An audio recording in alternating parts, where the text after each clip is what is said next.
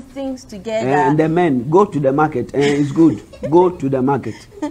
Agbogbloshie. Yeah, not just Akramo. Go to Agbogbloshie. There are times that I'll wake him up 3 a.m. and he's with me going to Agbogbloshie, like he said. Yeah. So, so learn to do things together. It spices things up. Amen. Amen. Amen. So, Pastor Jeff, I have um, another question here. It's actually two. It says, please, I am in a relationship with a man who is a good Christian, but I have no love for him, but don't know how, what to do. What should a Christian courtship look like?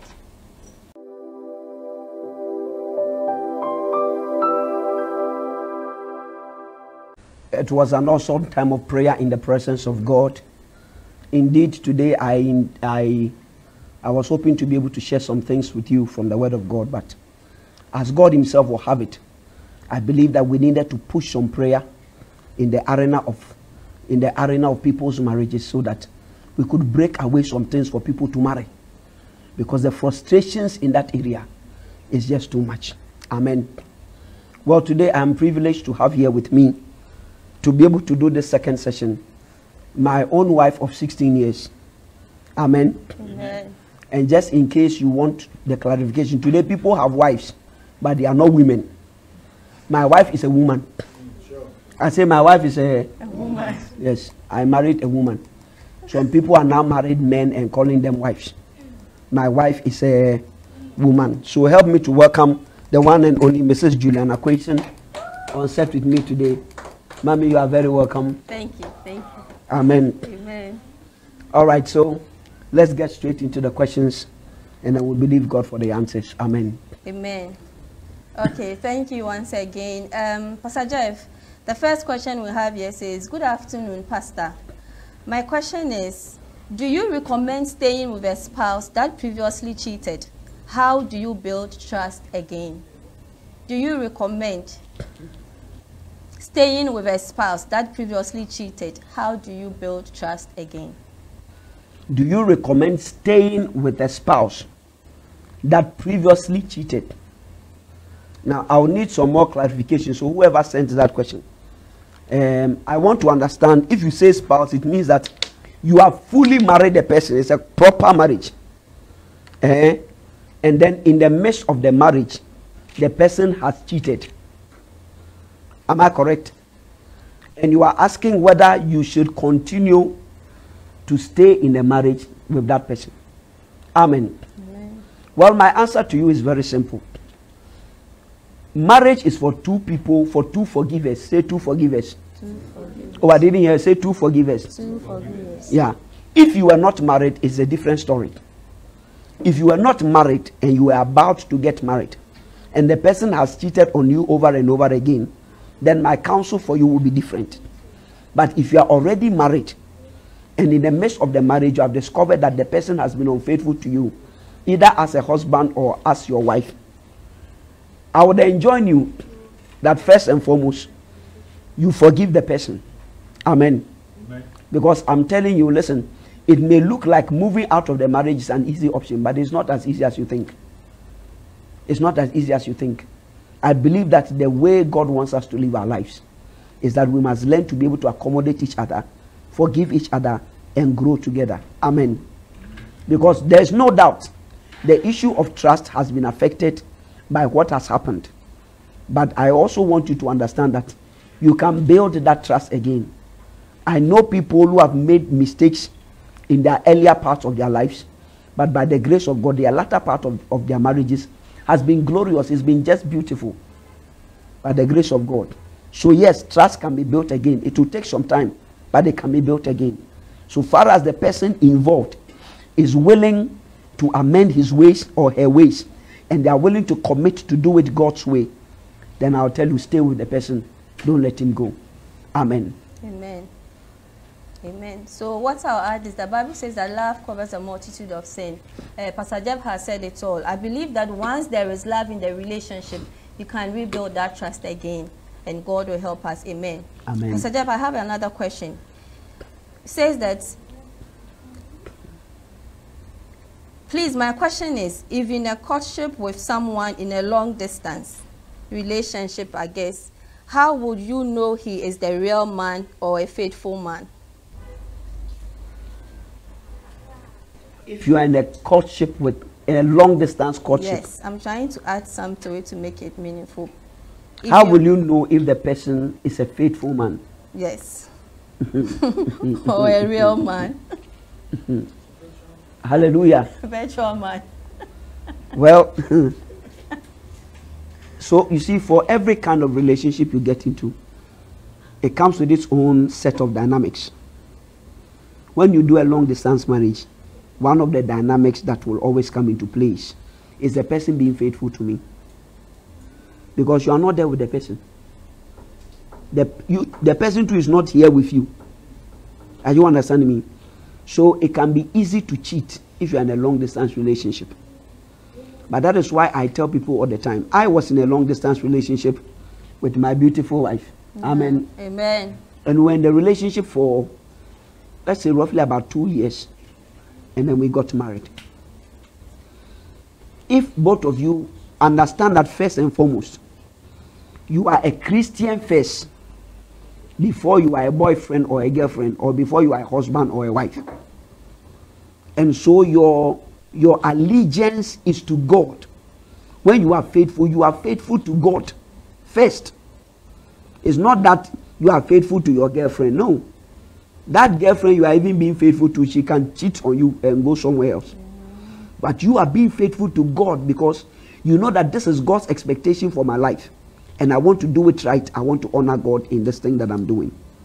So, what I will advise you to, do is that one, if you are doing it right on one side of the world, and the person you are in a relationship with, on the other hand, is not doing it right, that is why prayer is important. Pray for the person, cover the person. Listen, if you're in a relationship with somebody, whether the person is close or far, you must always cover the person with prayer.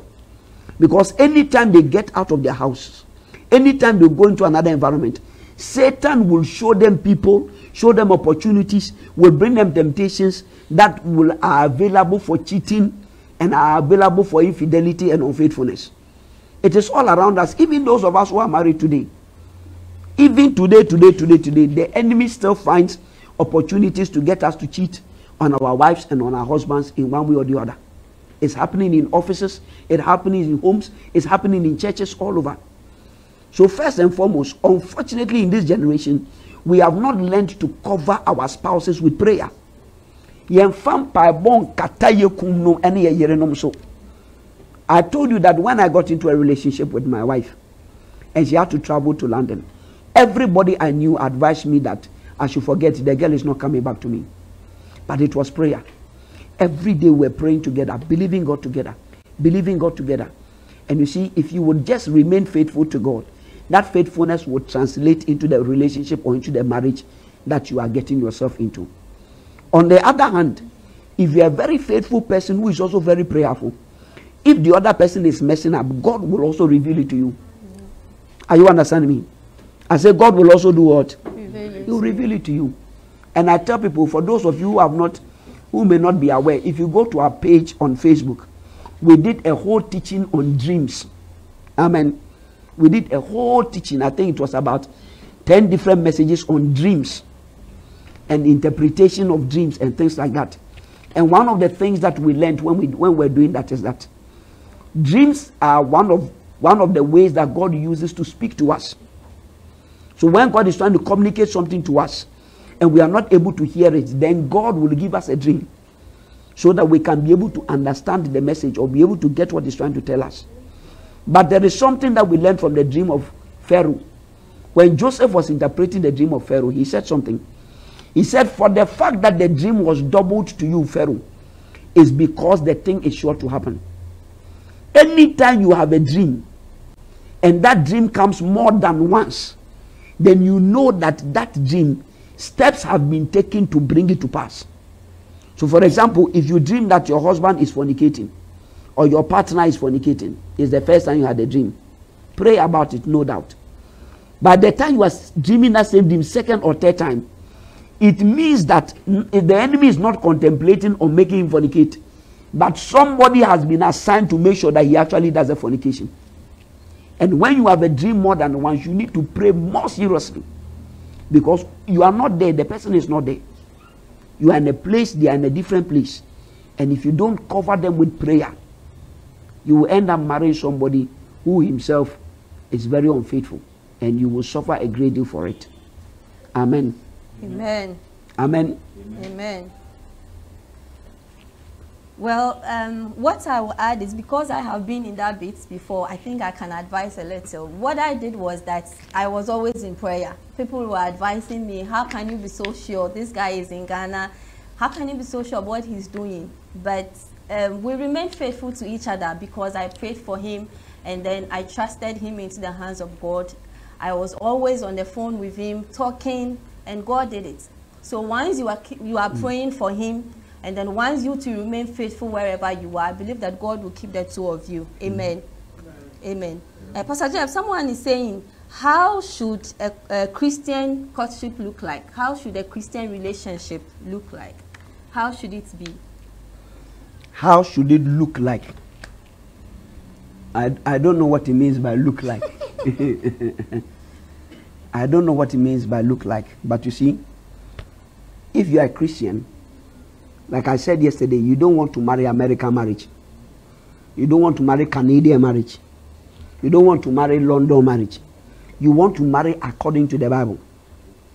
I have noticed that there are many people who hold on to the word of God when they are in Ghana. When they travel, they tell themselves this environment supports this, so I can also do some. And that is one of the biggest mistakes you can make. Because the God of Accra is the same God of New York and is the same God in London. His precepts will not change, his standards will not change just because your location has changed. So, for example, one of the things that is not common in this part of our world is people who are in a relationship and they are living together. It's not very common in this part of our world. But if you go to Europe and America and things like that, it's a very common phenomenon there. Very, very common.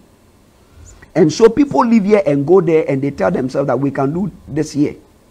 But I just want you to understand that the standards of God, they don't change. Amen.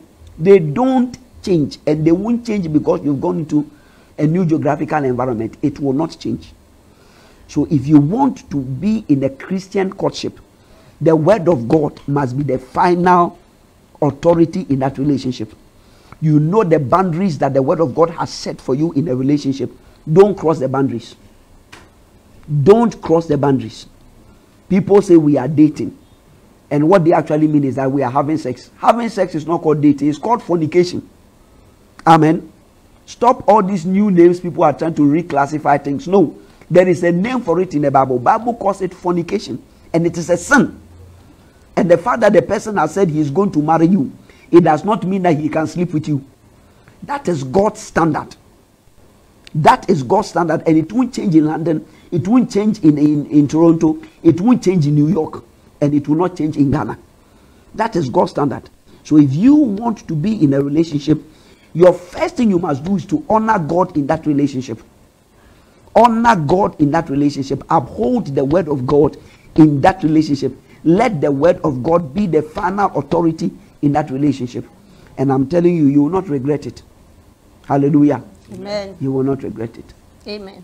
Pastor Jeff, we have another question here. Mm-hmm. It says, please, what do you do when a man you have been with for 24 years mm-hmm. tells you he doesn't love you anymore and is involved with another woman at his workplace? What do you do? What do you do? When a man you've involved with for 24 years tells you he doesn't love you anymore and is involved with another woman at his workplace? Well, hmm. Hmm. you see, nothing just happens. I repeat, nothing just Happens. happens. Within the 24 years, I remember last three years we did the couples retreat and the team was growing together and not apart. Unfortunately, when people get married eh, and they get into the marriage covenant, at a point, instead of them continuing to grow together, they are growing, but they are not growing together, they are growing apart. And if we allow these kind of things to happen for a long time, one day you get to a point where you realize that the person you are living with is a total stranger to you because the person is no longer part of anything you are doing there are many people that because of growing apart there is nothing they do together with their wives nothing they have stopped bathing together amen Amen. oh i said amen Amen. Yeah. how, how can you miss such a, a major breakthrough in your life bathing together with your wife is one of the major breakthroughs in life amen Amen. Yeah, this is only for married people. so I've been married for 16 years. I still bath with my wife. And it's one of the most exciting times, you know, of our lives. But you see, when you get to the point where you are used to living your life uh, without your wife or living your life without your husband, by all means, that your husband and that your wife, they are relational beings. So anybody who will give them attention, they will start relating to the person. And too many times, um, I know that by the time it gets to this point, the disconnect has happened for a very long time. A long time. So that's why I tell people listen, don't bring your marriage to a deadlock where you tell yourself, say nothing, Mr. Say Namiti, Onya ni ope, Mr. May Namepe. This is how he is, this me to this is how I am. Let him do what he wants to do, me too, I'll do what I want to do. The moment you come to that position in marriage and know that you have just opened the door of divorce. Because the man will now start doing his things without you. You too, you start doing your things without the man. At a point you realize that I don't need you for anything. Hmm. You too, you don't need me for anything. So why, why are we why are we staying together and say we are married? We don't have anything in common. So let's go our, our different ways. But to this woman, this is what I'll say. Number one, 24 years is a long time of investment. Yeah. I don't know what has happened that has made the man decide to go away. But I am telling you that first and foremost, commit it to prayer, to serious prayer. Because many of the times when people are trying to take a man or a woman out of a marriage, they don't just do it with their eyes. Yeah. Many of the time they will go for some kind of powers and things to enable them to do that. Especially when they realize that the man loves their wife or love their husband very well. They will employ all manner of powers. They will give him food, and the food they put something in the food that will make his mind change towards towards uh, towards you to them, and all manner of things. So people employ all of these things. So my first point is that engage in prayer. Commit yourself to prayer and word this in prayer. Number two, try your very best if you can to start doing things together with your husband. Show interest in your husband because you see, if after 24 years he just comes and say, "I'm no longer interested," it didn't just happen overnight. It's been years of neglect, years of no attention, years of not working together, and it will culminate into that 24 years. And then you say, "I don't, I don't have anything to do with you." So for all of us who are in marriage, please take your time and continue to build things. There are things that bring couples together. Eh? There are things that that that that just spices up. For example, when my wife is when my wife is uh, is cutting my nails, it's one of the things that I just love. She's just cutting my nails, even though she's not very good, and she can murder murder the nails. Hallelujah! It is more of murder than cutting. But just for the fact that my leg will be on her lap, my hands will be on her, and then I just love that experience. And it is an experience that helps to bind us together. Are you understanding me? So have activities that bind you together. Bind you together. When my wife is going to work, sometimes I go with her. When she's working in the kitchen, I'm standing with her. We are trying to do everything together. Don't get used to doing things on your own. When you persist in doing that for a long time, one day you discover that the one you are staying with is a total stranger to you. And then they will all want to get out of that marriage. Amen. Amen. Thank you, thank you, thank you, thank you. Um, I remember one advice my husband gave me because I, I married to someone who is all yes for everybody. I mean, there is always somebody around, somebody wanting to talk to him, somebody, I mean, there is always somebody around. But this is what he told me make your husband your friend. Make your husband your friend. So he has always been my pal, my best friend. We love, we do everything together. I pull him to the market when I'm going. I mean, we try to do things together. Eh, and the men go to the market, and it's good. go to the market. Agbogbloshie. Yeah, not just Akramo. Go to Agbogbloshie. There are times that I'll wake him up 3 a.m. and he's with me going to Agbogbloshie, like he Yeah, said. yeah. So, so learn to do things together. It spices things up. Amen. Amen. Amen. So, Pastor Jeff, I have um, another question here. It's actually two. It says, please, I am in a relationship with a man who is a good Christian, but I have no love for him, but don't know how, what to do. What should a Christian courtship look like? I am in a relationship with a man who is a good Christian, but I have no love for him, but don't know what to do. What should a Christian courtship look like? Amen. Amen. If you're in a relationship with a man, by your own admission, he's a good Christian. Mm. He's a good man. What you mean by love for him is that erotic feeling that people have for people. It is that amalgamation of emotions and uh, and uh, what do you call it? Emotions and enzymes that stir up inside you when you see somebody. That is what many of us we call love. It's not love at all. Amen. I say it is not what? Love. It's not love at all. Every human being has got it. It just helps to show you that you are attracted to somebody. But it, it- that is not love at all. At all. Amen. Love is commitment.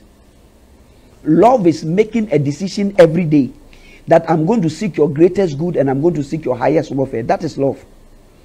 So in the book of is it First Peter or Second Peter? Let me just consult my Bible. Bible tells us that love can be taught. Tell somebody love can be taught. Oh, I didn't hear you say love can be taught. Love can be taught. So Peter says that teach them to love their husbands. Amen. Teach them to do what? Love their husband. To love their husbands. Amen. Amen. Titus chapter 2, verse 4. Titus chapter 2, verse 4. Titus chapter 2, verse 4. It says, That they may teach the young women to be sober, to love their husbands, to love their children. Love can be taught. Amen. So, love is not that combination of chemicals that explode in your ears and explode in your heart and you feel that is not love that is just to help you to know that okay your body reacts a certain way towards this person it is a way of letting you know that you are attracted to somebody. But that is not love at all. So what you say you don't have for him in fact you don't need it for him. Are you there? What you said you don't have for him i said you don't what you don't need it for him. That listen anybody who has been married for even six months ask them whether they still have that feeling. That butterflies in your stomach when i see the person i don't know what to do i don't know what to do i don't know what to do by the time you marry i give you maximum one month two months it will disappear. It will disappear. Now you see the person you don't feel any year the year is gone. The period of the year has passed. It is a period of commitment. This is now when the true love is demonstrated. Are you understanding me? I said true love is what? Demonstrated. is demonstrated by seeking the greatest good and the highest welfare of the person that you are in the covenant with. So I'm telling you, sister, don't lose this good man. Because your own admission says that he is a good Christian.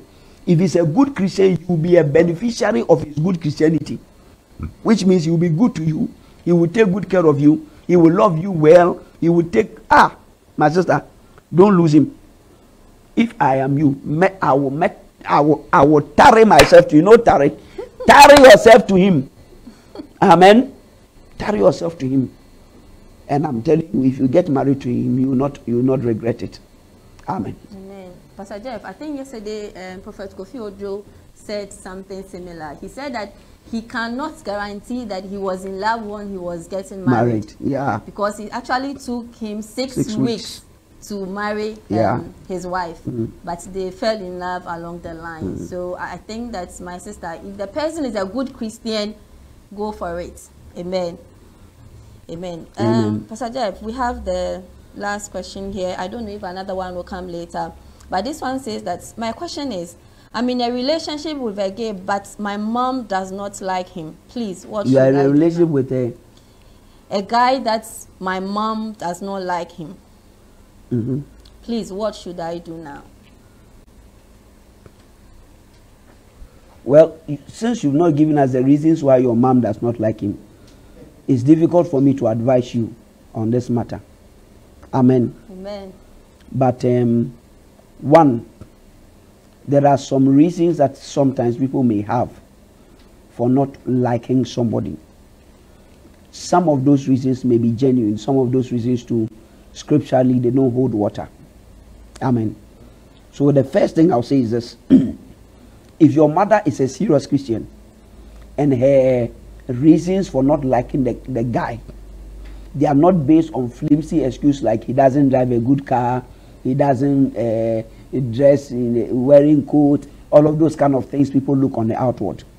If your mother is not a sikadicious and sikaprecious mother who is just looking for uh, a bendada for you eh, and is using those things to sack people but she's a spiritual woman eh, who is concerned about the content of people's hearts and their character and she's raising objections to this guy listen to your mother because i'm telling you there are things your your fathers and your mothers can see lying down that even if you stand on a mountain you cannot see experience cannot be bought at Melcom. I said experience. You don't buy it at where? Melcom. At Melcom or Akramo. So there are people you may be going out with, you may be in a relationship with, but your mother can look at the person once, look at the person twice, and by her discernment, she can tell you that this guy, no. Miraba, Abranti onye could do baby Amen. So long as it is not predicated on material things, then I'll tell you, listen to your mother. Amen. Amen. Listen to your mother. Sometimes it may even be that you will end up marrying the guy, but you may have to take some more time to evaluate the guy and pray through on the issues because there may be hidden issues about him that you don't know. And sometimes the the the the disapproval of your parents will push you to pray some more and some of these things will come up so that you can be able to deal with them before you finally get into the marriage covenant amen Amen. Amen. sometimes let me just add this sometimes even your spiritual heads like your pastors eh, people who have got spiritual authority over you. Sometimes they may disagree with the choices that you make for marriage. Now the fact that eh, the disagreement came from a pastor does not mean you should necessarily listen to the pastor. Are you understanding me? I was privileged to be part of a marriage that the pastor of the gentleman did not want the gentleman to marry the lady. It was not because the lady was not a good lady or was not a godly woman, but it was simply because the pastor had somebody in mind that he wanted to give to the guy. So when the guy now came to introduce this girl to him, that this is the lady that I want to marry, the pastor said, No, don't marry her. You see, in, in, in cases like that, I would recommend that you speak to another pastor or another person who is objective in their in the assessment of the person, so that they can now give you the the let me say the approval that you need to move ahead.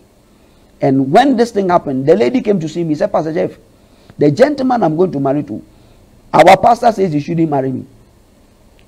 What should I do? She came to me, and we discussed it. And we realized that the reason for the disagreement was simply because the pastor had some niece be of his that he wanted to give the niece to the guy to marry.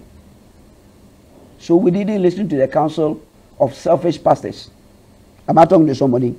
You only listen to the counsel of a spiritual person, but you don't listen to the counsel of a carnal person who is trying to use his carnality to destroy your life. Are you understanding me? So even if it's coming from a pastor or somebody who is in spiritual authority over you, you need to analyze it to be sure that is it coming out of their objectiveness as a man of God or it is coming out of their biases and prejudices because of some carnality and material things that they are looking at. These are very important so that you can actually come to a conclusion and move ahead or otherwise. So, this will be my counsel to you. Amen. Amen. Okay. Daddy, what do I do when I'm seeking the greatest good of my partner and she doesn't appreciate and sabotages my efforts cause it makes it extremely difficult? Well, nobody said love is easy. There is nowhere in the Bible which says that love is easy. Love has never been easy. Jesus Christ, who showed us love, he had to die for it. And that is the, com- the, the commandment God gives to every man. He says, Husbands, love your wives, not as your father loved your mother, not as a, a what do you call it, Romeo loved Juliet. He says, Husbands, love your wife as Christ loved the church and gave himself up for it. So, in every relationship, there's, an, there's a degree of sacrifice that will be required from you. Now, listen to this. How did Christ love the church? Too many of us, eh, listen, when we are looking at the, the marriage covenant, one of the things we say is that if the guy changes, Eh, if the woman changes, me to her change. If she does this well, me to her love her. If she submits me to her love her. But that is not how Christ loved us. Bible says that God commended his love towards us in that whilst we were still sinners, Christ died for us. That is the love of Christ. So the person may not deserve it. The person may not show appreciation for it. But your duty is to love the person. Love the person to the very end. Because one day when you meet God, He will ask you, Did you love this lady as I love the church and give myself up for her? Did you love her like that? Or you loved her until you were offended? So I want to encourage you if you have made a choice to, to, to love that woman, go ahead and love her to the very end. And listen, there is no door that love cannot unlock. That woman who does not appreciate your love today, keep loving her. Keep loving her. I'm telling you, keep doing it. It will love, it will break every barrier. It will break every barrier. It won't be long that woman will start loving you back. Amen. Amen. Because women are incubators. As you keep sowing the seed, keep sowing the seed. At a point in time, they just have to return it. It will happen. Are you understanding me? It will happen. So don't stop loving your wife. Don't stop today. Don't stop tomorrow. Don't stop next week. Don't stop next year. Love your wife till, till, till. Amen. Amen. Pass that exam. Pass the test that God has given you as a husband. And pass it with flying colors to the glory of Almighty God. Amen. Amen. And I think apart from loving him, continue to pray for him too. Mm-hmm. Amen. For her, is a For woman. her, okay, Mm. for her. Amen. Pastor Jeff, for this question. Pastor, Mm-hmm. please will one be in a relationship with a man whom she feeds and gave him work to enable him gather money for marriage, but rather he collapses the business and he still wants her back? Please advise the lady whether to quit or to continue. Please read the question again. I'm trying to regather the question. Pastor, please will one be in a relationship with a man whom she feeds and gave him work to enable gather money for the marriage? Pastor Jeff, let me let me redo the question myself. I think what she is trying to say is that um, she was actually in a relationship with someone. Mm-hmm. She gave the money to the man mm-hmm. to do a business and then help raise money for the marriage. But this man did not handle the business well. The business has collapsed. Mm-hmm. And then I think from the way she uh, phrased the question, I mean, I think because of that, she actually went out of the relationship. But the guy wants her back. So she's asking for advice. Should he go back to him or she should quit? Because the business collapsed. Yes, because he squandered the money from the business. Well, the first thing I would want to say is this. Um, I really don't know the circumstances under which the business collapsed. If we knew the circumstances under which the business collapsed, we'll be able to advise you more. If you believe that, because you see, I'm telling you, um, there are many businesses that people have started and have collapsed, even though the people did their very best under the circumstances. Mm. Are you understanding me? Yeah. So the fact that a business has collapsed should not be a criteria for marrying somebody or not marrying the person. I hope you understand me. However, if it is your express opinion that the business collapsed because the person was just reckless with the money or the person was not careful they were just careless and they just spent it by heart and just wasted it. Then that raises some cause of concern. Amen. Amen. And what I would tell you is that you will need to sit down with the person because getting into ma marriage, there are so many financial decisions that you have to take. If the person is not financially prudent, it will affect the relationship. And I'm telling you, take it from me, 90% of all fights in marriage, it comes from money. money. 90 or maybe 95% or even 98% of fights that are in marriages, it comes because of money, money related issues. So when somebody is not financially prudent, it is a cause to worry. However, like I said, it is um, these things. Some people, it may be that they just don't know. You know, especially the way we do business in Ghana. Oh madam eh, my, my friend be say people uh, bed sheet is selling pound bed sheet people are buying bed sheets pound so me too i want money to go to china and go and bring bed sheet then they sit in a plane go to china and go and bring bed sheet and they bring it. And then eight months they not be able to sell sell the bed sheets by the time they finish selling the bed sheets they cannot even realize the money because it's the same money they were chopping small small small small. So the bed sheet is finished and we can't find the money for it. It's simply because many people get into business and they don't really take time to do the necessary analysis and groundwork that is that that will help to guarantee the success of the business. But um, you are not you are not marrying because you are you are looking for a business partner. You are marrying because you are looking for a life companion if the person has not got knowledge in that area you can help to build the knowledge of that person in that area if it will mean that both of you will have to work together on some things when it comes to finances, work together on it. Yesterday, I shared that myself and my wife, we have a joint account. But my wife is a signatory to the joint account. I am not. If I want anything from that account, I go and ask my wife, and she will write me a check, and I'll go and collect it. The reason is simple. In my capacity as a pastor, I get a lot of people who are asking me for favors. I need this, and everybody's favor is an emergency even though by the time you get into it, it's not an emergency. You understand me? And usually, if there is money that is just available to me, I'll usually put my hand inside and just help somebody because I don't want to see anybody suffering. But I've noticed that many of the emergencies people call emergencies, they are not emergencies. If you are not able to help them as and when they expected you to help them, nobody will die. Are you understanding me? So I realized that my wife is a, a much better manager of money. So when it comes to our financial decisions, I make a signature of those things. So that before any money will go out, we know that both of us, we have thought through it carefully.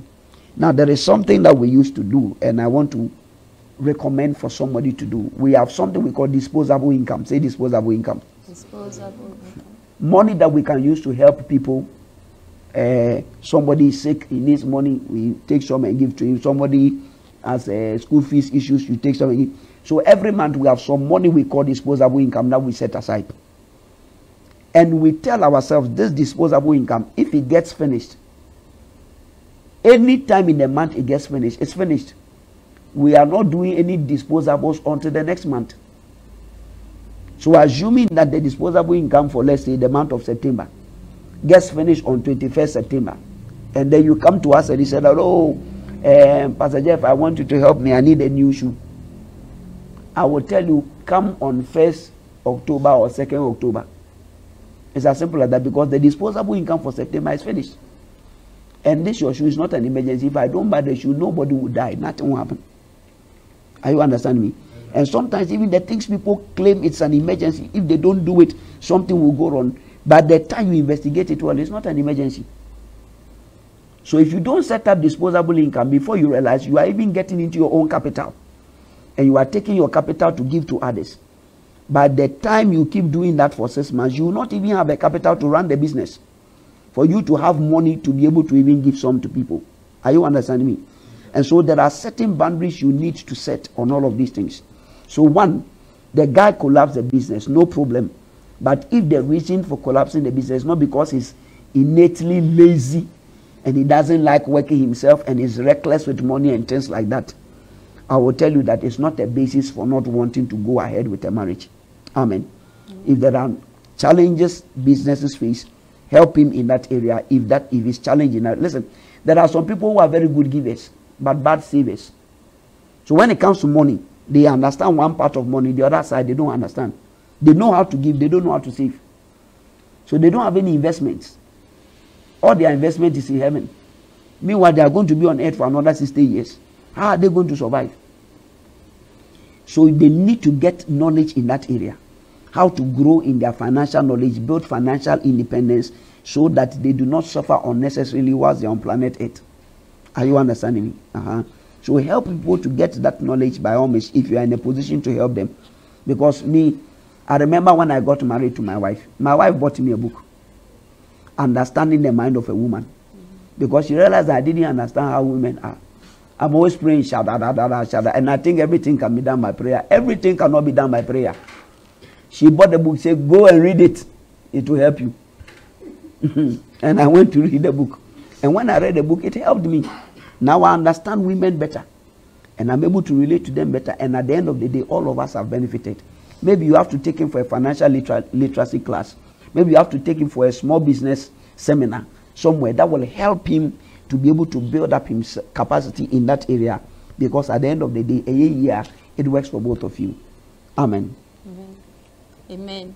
Pastor Jeff, he says, Pastor, please, can I marry my friend's ex-girlfriend? Hmm? Can you marry your? Can I marry my friend's ex-girlfriend? Hmm. Well, there's really no no no rule that says you cannot marry your friend's ex-girlfriend. You understand me? Except that it is it is it's a little some way. You understand me? Biblically, there is nothing that stops you from marrying that person.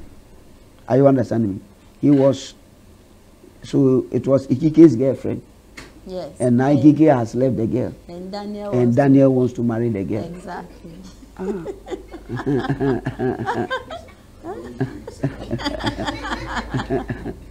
so, like I said, um, there's really no, no. I mean, there is no, there is no um, instruction in the scriptures that stops you from being able to do that. But I just think that in the spirit of brotherhood and um, social cohesion, it may not be the best way to go. That is my first point, especially if the breakup between the two of them is very fresh. Amen. Amen. But assuming that Ikike has dated a person and they've broken up three years ago, and Daniel now wants to marry the person, I don't see anything that stops Daniel from marrying the person. Amen. The fact that the person was no good for Ikike does not mean the person will not, good, will not be good for Daniel. Daniel says he doesn't. Are you understanding me? Uh-huh. So I don't think it is really an issue, except that naturally people will talk about some issues about it. So just be careful about those issues. To be like, you know, there's a similar story in the Bible with Samson. In the case of Samson, it was not even boyfriend, girlfriend. Samson went to marry a girl. And when Samson went to marry a girl, the guy who was Samson's best friend at the time, or what you will call the, Samson's best man. Eh? Mm. When Samson now left, I don't know where Samson went. You know, Samson, sometimes he can get crazy and you go somewhere. By the time he came back looking for his wife, his best man had married his wife. His best man had married his wife. He said, Ah, I've got an opportunity to beat you people. And you know, Samson, when he gets mad, he will beat everybody. So he went on a beating spree. That is when he gathered folks and lighted torches to their tails and released them into their fields and he bent all their fields to the ground. Yeah. And they asked, why has this happened? They say, it's Samson who did it. Why did he do it? Because his best friend has gone to marry his wife. And Bible makes us to understand the men of the city, they caught his wife and his best friend and his family, stoned all of them and killed them for bringing that disgrace on them.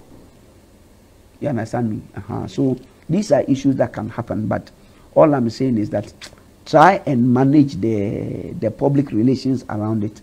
But otherwise, there is no hard and fast rule which says that you cannot marry. Everybody you may get married to tomorrow or something was somebody's ex at a point. Or me when I married my wife, she was some boy's ex. I know the boy too. uh, me and the boy went to school. but was my my my my my wife's ex. So me when I came, I just said, Charlie, my time has come. It is written about me in the volume of the books, Thou art my wife. and I came to do what I needed to do. So everybody will be somebody's ex at one point or the other, depending on how life goes. So it shouldn't be a big problem. Okay. All right, can we take just The last one. The last of question. Time. Mm. Okay, so we'll take the last one. Last two. okay. Um, he says, please, I'm married for six years and now my husband has packed out of the house. He says he can't marry again. Please, what should I do? We have two children and I love him. He says he can't marry again? Yes. Well, usually men will not just say, I can't marry again. Like I said, you see, I want to assume that people in a relationship, they are rational beings. No, like the way I married 16 years, no, then I come and say, I'll marry again. No, no, no, no, no, no. Something triggers all of these kind of things. Are you understanding me? I, I okay, of course, I do not discount that sometimes somebody can use sorcery on somebody that he can decide out of the blue, I'll marry again. So that can happen. So if the issue is an issue of sorcery and divination, that a spell has been cast on the man, says that he has lost his senses. When he sees you, he sees you as Kakamotobi, and he doesn't want to continue the marriage again. Then you need an Esther's fast. I say you need what? You need an Esther's fast to rec- rectify this anomaly. Are you understanding me, somebody? That is number one. But apart from that, usually nobody will just get up and say that I don't want to marry again. Usually there are telltale signs that happen all along the line, and people continue to ignore it over and over and over and over and over. And because you continue to ignore all of these things, people get to a point that they get fed up and they decide that my lot will be better if I leave and go. Are you understanding me? Of course, I don't want anybody to lose their marriage with two children, six years of marriage investment. I would rather that if the families can meet to discuss it and find out what his concerns are, what do what what does he expect from you that you are not doing, or what is it that is making him not want to be in the marriage again, and look at how best you can rectify those issues so that the marriage can grow. Look, there is one of the things I do with my wife on a regular basis is that I keep asking her, the way I'm loving you, are you feeling the love? Yeah, I'm feeling it. I'm feeling Are you understanding me? Are you feeling the love? Yeah. Because see, I think I'm loving her, but it doesn't mean that it is working for her. Are you understanding me? And that is the way a lot of Africans we do our marriage. We tell ourselves that so far as I'm doing this and that and that for her, she should be fine. But the one who is on the receiving end of your love, you have to find out from the person, is it really going well for you? then they can now give you a correct assessment. So, okay, you are trying, but in these areas or that areas, you can improve yourself. Then you improve it. You understand me? She too, she comes to ask me, Charlie, the way I'm loving you, do you, do you, do you feel the love? And I'll tell her, well, I'm feeling it, but I don't like this or I don't like that. It is an issue of continuous improvement. The Kaizen principle, we always improve on where we are. It can always be better than what it is now. Yeah. Are you understanding me? But if you are not ready to do that accountability and submit yourself to this kind of checks and balances, you will tell yourself she should be satisfied with what I'm giving to her. And I know that I've been loving her, I've been I've been buying her this, I've been buying. She should be satisfied with. But for all you know, that is not what your, your wife is really looking out for. Amen. The greatest need of a man is respect. Every man want to, wants to be respected and honored. You can do anything else right, but if the respect is not there, no man wants to be in a relationship with you. every man wants to feel like a man. He wants to feel like I'm the number one. He wants to feel like a hero in a relationship. If he doesn't get that feeling and somebody makes him feel like a hero outside, he will prefer to be going outside than staying inside. Are you understanding me? Then another thing that is one of the greatest needs of a man is sex. If he doesn't feel that his sexual needs are being taken care of well, and somebody out there is driving him down the Sakumono, Sakumono lane, he will be going to the Sakumono lane. Amen. Amen. You must also upgrade your your your sex life. Amen. Upgrade your sex life. It cannot always be missionary position. Amen. You know missionary. but may I send him. Amen. Near me, near. take me as I am. It cannot always be like that. Are you understanding me? You to learn. You to learn. We are in a knowledge economy. Learn. Improve it. Improve it. Improve it. Bible says that a man's body is for his wife. The woman's body is for the man. This whole body is yours. Explore. I said, do what? Explore. Ah. Explore. This, this. Explore. The whole body is yours. According to the Bible. Amen. And me to all of this is for you. For yeah, and she's been exploring. Very good. Mm, right going to the mountains and, and into the valleys. Amen. Explore. Let, let, let the marriage bed be exciting. Let it be exciting. You understand me? You know, I got a message from my wife. You know, the last time we had an encounter, you know, encounter. You know, then she sent me a message after the encounter that Charlie, the last encounter was very brutal. Very brutal. You know, every man feels going, yeah, Charlie, that thing is working. you are, you don't want accountability. You don't want grading. You don't want people to tell you that the thing is not working. If they tell you no, then you bore. But if the thing is not working for me, I have to let you know it's not working for me. Let's improve it. Let's grow. Let's move to the next level in the relationship. Amen. Amen. Amen. So um, the little I'll add to it is that my sister, our men always want to have us fresh. So um, learn to keep yourself fresh. Just as he met you, the first day he said, I love you. Maintain that, um, that presence, maintain that, that physique, maintain it as much as possible. And like my husband said, um, in, in Ghana here or in Africa here, women don't really like flowers. But they say that sex is like to men as flowers is like to women. So just as women, we love flowers, or chocolate, men to love sex like that. So learn to um, spice up your bed, learn to spice up your room. Whatever reason that he left or um, he's gone to another woman, aside prayer, keep yourself fresh and look into the other things um, that relates to the marriage. Pastor Jeff, the last one here, he says that I have a lady I'm dating. She's mm -hmm. in the university level 300. Mm -hmm. And we have agreed to marry when she completes. Mm -hmm. We love ourselves, but I'm afraid that she but I'm afraid that after she completes school, she might tell me she's not interested. Please advise me.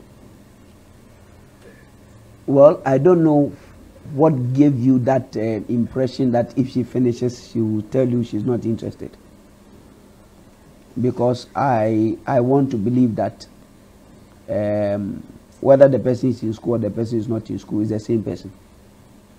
So my point is that if you have seen signs that have that suggest that the lady is not truly interested in you, it's not when they finish school or when they don't finish school. If the person doesn't like you, the person doesn't like you. I think that it is better you have an honest discussion with the girl and know where you stand with her now rather than to be waiting on standby all the way till she finishes school only for her to release the same bombshell to you. ɛsɛ so try yɛ ɔdi ano no and then if you take it earlier you are safe a slap that is inevitably for you the earlier you encounter it the better for your life so if you think that there are issues that give you the impression that this girl may not be wholly into me and that she's just hanging on to me or just using me till she finishes her school. Address the issue. Sit down with her. Make sure that you have you can have a very frank and open talk about it. If she's not interested, just go your, your way. That is it. But apart from that, I don't see how getting a degree can change somebody's mind about marrying you or not marrying you. It's not about the degree. It's just that maybe she's not into you in the first place. If you have got any reason to believe that, have a discussion and let that discussion help you to know what to do next. But by all means, don't just hang around. Uh, when you yourself, you know that the girl doesn't love you and you are just hanging around, hanging around. When she, by all means, when she finishes the school, she will leave you.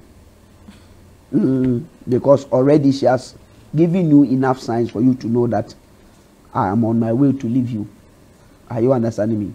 I remember one day I was driving with my mother and there was a car in front of us and they had written behind the car.